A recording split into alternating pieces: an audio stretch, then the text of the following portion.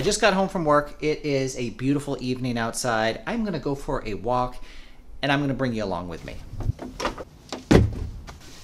And since this is not a recreation channel, you're here to listen to me talk about perfume. There has to be a scent of the walk. Today, that is going to be Boudicca Wode.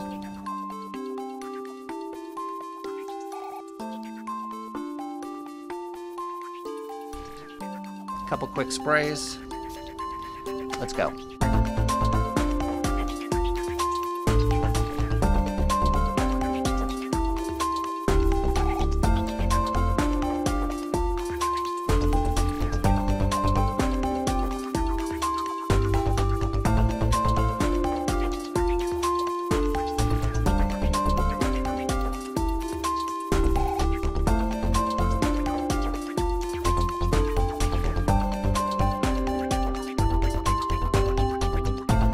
So I have been meaning to do a review of Boudicca Wode since I started my channel, but I felt like I needed to wait for the perfect time and to go to the perfect place to actually talk about it. And the park here, it is the perfect place.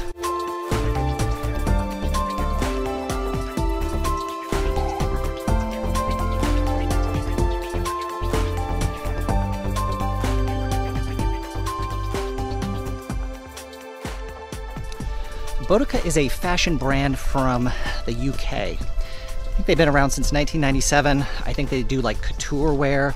I'd actually never heard of them until I heard about this perfume, which came out in 2008 and it was composed by Geza Schoen. A little bit more about the concept though, right? Boudica was actually a historical British figure. She was the queen of a tribe of Celts from around 8060, and she led an uprising of her people against the Roman invaders. And uh, what ended up happening was she was defeated, and she committed suicide shortly thereafter, apparently by ingesting hemlock. So woad is a flower, and what it's been used uh, for throughout the centuries is it's dried and it actually uh, can create a blue dye and so part of that legend of Boudica was that she and her people were painted all in blue. In fact, I guess thousands of years ago, many of the Celts were known as the painted people because they would use woad to basically totally cover themselves. So the theme here is extremely blue. Hell, early versions of Boudicca Wode actually came in spray paint cans or at least that style of atomizer. And when it would go on skin, it actually would show up blue, and within a matter of seconds or minutes, it would actually disappear, which I think is totally brilliant. So, at least conceptually, for me, Boudicca Wode as a fragrance, man, Geza Schoen and the brand totally knocked it out of the park. And so while the concept of Boudicca Wode is blue, the fragrance itself wears extremely green. And that's exactly why I brought you out here. You know, the human eye can actually see more shades of green than any other color in the spectrum. And forests here in the Pacific Northwest, Washington Park, of course, being just one very small one, are great places to come and see those myriad shades of green in all of their glory.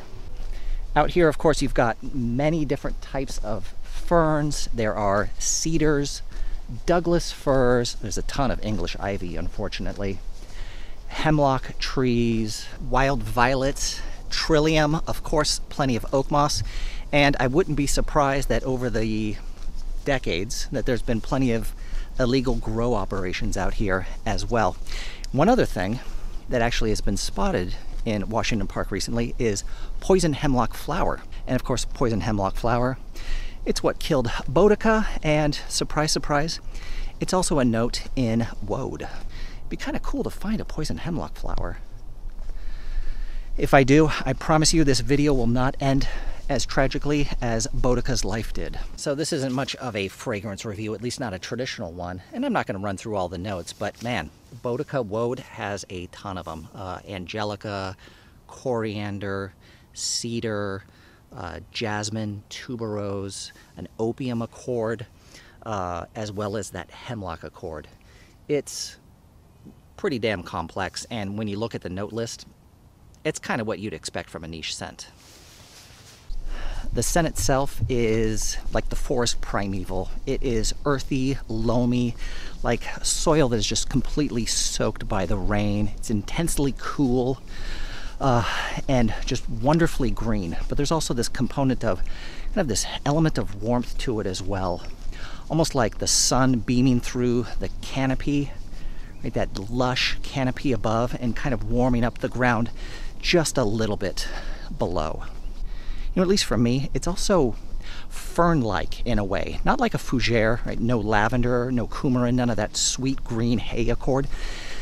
I almost think of this as like the fougere reimagined.